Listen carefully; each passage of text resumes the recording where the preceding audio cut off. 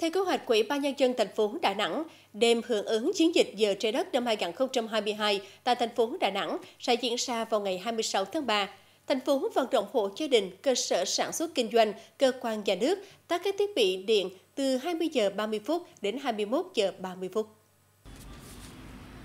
Đây là sự kiện quốc tế thường niên được tổ chức hàng năm nhằm khuyến khích các hộ gia đình, cơ sở sản xuất kinh doanh tắt các thiết bị điện nhưng không ảnh hưởng lớn đến sinh hoạt trong một giờ. Năm nay, sự kiện được tổ chức theo hình thức trực tuyến, phát thanh truyền hình và treo băng rôn khẩu hiệu, không tổ chức sự kiện tập trung đông người để phòng tránh dịch bệnh. Ủy ban nhân dân thành phố giao các sở ban ngành địa phương có trách nhiệm triển khai hưởng ứng chiến dịch tại cơ quan bằng việc tắt toàn bộ đèn tại trụ sở từ 20 giờ 30 đến 21 giờ 30 ngày 26 tháng 3. Vận động người dân doanh nghiệp thuộc lĩnh vực mình phụ trách tham gia hưởng ứng giờ trái đất. Các cơ quan đơn vị sử dụng điện từ ngân sách thành phố thực hiện quán triệt đến các đơn vị trực thuộc và toàn thể cán bộ, công chức, viên chức, người lao động nghiêm túc tham gia hưởng ứng sự kiện giờ trái đất năm 2022 bằng cách tắt phần lớn đèn chiếu sáng, chiếu sáng trang trí và các thiết bị điện không cần thiết tại cơ quan đơn vị nhà riêng trong thời gian diễn ra sự kiện giờ trái đất.